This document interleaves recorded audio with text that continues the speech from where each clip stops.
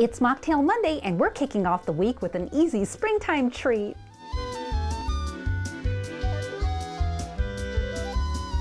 Hello, and welcome to the Velveteen Lounge Kitchen. Spring is in the air, and we have an easy mocktail to celebrate the warmer weather. To make it, all you do is combine two ounces of strong vanilla tea, one ounce black cherry juice, and one quarter ounce fresh lime juice. Shake with ice, strain into a cocktail glass, and top with a splash of your favorite cola. It's even better if you sip it in the sunshine. Thank you for visiting the Velveteen Lounge Kitchen. Be sure to visit our Facebook page for lovely libations, liquored up live broadcasts, and more. It's always happy hour at the Velveteen Lounge Kitchen.